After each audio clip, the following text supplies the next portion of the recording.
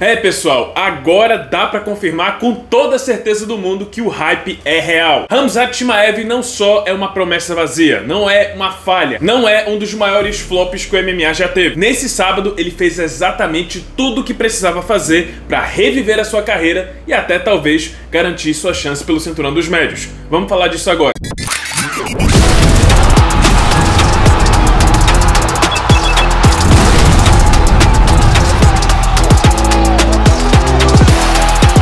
Lembram o que eu falei pra vocês na prévia dessa luta? Eu falei duas coisas. A primeira é que tinha uma promoção da Stake rolando, que se a luta acabasse por finalização no primeiro round, você ganharia o dobro da sua aposta. Ou seja, quem aposta na Stake com o código Figueira MMA ganhou uma boa grana nesse sábado. E a segunda coisa que eu falei era o quão difícil seria quedar o Robert Whittaker e ainda mais segurá-lo no chão. Citei aqui vários exemplos de grandes grapplers como Ronaldo Jacaré no auge, o Yoel Romero no auge também, que tentaram de tudo para derrubar o Robert Whittaker e simplesmente não conseguiram. Ou então conseguiam quedar, mas não manter o australiano no chão. Era uma tarefa difícil, porque apesar de dos seus maiores destaques ser na luta em pé, Robert Whittaker tem base na luta agarrada, tem base no wrestling. Meus amigos, o que Hamzat Chimaev fez nesse sábado foi uma coisa impressionante, que eu sinceramente não esperava ver. Não só ele quedou Robert Whittaker em 30 segundos de luta com extrema facilidade, mas o manteve, soterrou ele no solo com muita eficácia. Uma vez no chão, Whittaker simplesmente virou uma vítima, uma presa. Foi uma pressão monstruosa, difícil de se ver no mundo das lutas. É aquilo que o Daniel Cormier falou, beleza, pode ser que ele não tenha gás para lutar 5 rounds,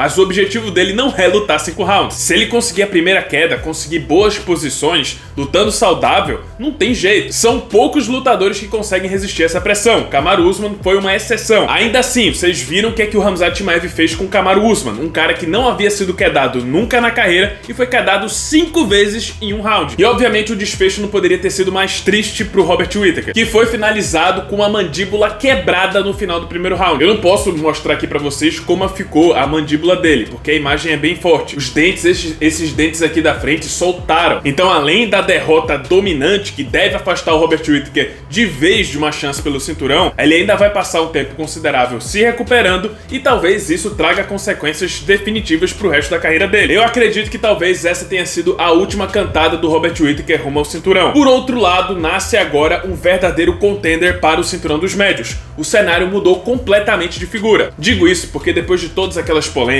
as doenças, as lutas canceladas, todas as coisas que envolviam e tornavam a carreira do Shimaev tão problemática, nesse sábado ele deixou tudo isso de lado. Ele finalmente provou que é sim um cara para ser campeão. Porque tirar Robert Whittaker pra nada dessa forma não é para qualquer um. Fazia 13 anos que o Robert Whittaker não era finalizado. E na coletiva de imprensa após o evento, Dana White já falou que tem grandes planos para o Shimaev. Até deixou em dúvida se ainda vai fazer a revanche entre Dricos Duplessis e Sean Strickland. Depois dessa performance do Shimaev, o Dana White admitiu que talvez o Shimaev pule a fila do Strickland. E o que eu acho que pode acontecer em 2025. Nessa mesma coletiva de imprensa, mais uma vez o Dana White ressaltou que em 2025, 90% de certeza, teremos o evento na África do Sul. E obviamente, quem deve lutar nesse evento é o Dricos Duplessis, campeão sul-africano. A questão é que, eu já falei aqui pra vocês, não é o time perfeito para fazer um, um, UFC na África. O time perfeito seria lá em 2021, quando a gente tinha Kamaru Usman, Israel Adesanya e Francis Ngannou, três campeões africanos. Beleza, ainda temos grandes lutadores africanos que podem compor esse card na África do Sul, mesmo que eles não sejam sul-africanos, ainda assim são do continente. Só que eu sinto que, se não for para encher um card de grandes lutadores africanos, por ser um território totalmente novo, um continente completamente novo que o UFC ainda não explorou, eu sinto que eles vão precisar de uma chamativa muito forte, uma luta principal que realmente ganhe destaque. E meus amigos, essa luta depois desse sábado é Dricos Duplessis contra Hamzat Chimaev. Não dá para negar depois da performance do russo e também não dá para negar o fato